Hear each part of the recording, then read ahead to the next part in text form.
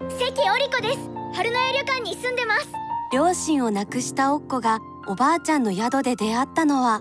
お前俺が見えんのか？ええ友達できたわ。ここ気に入っちゃった。美味しかったです。おっこが春の屋の若女将になるあなた若女将じゃなくてバカ女将じゃない？みんな心配してくれて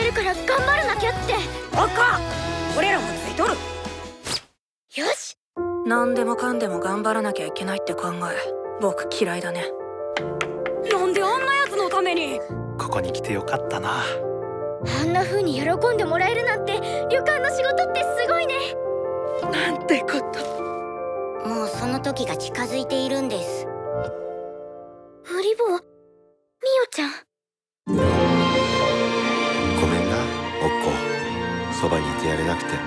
私を一人にしないでたくさんの出会いと別れの意味をおっこは見つけていく。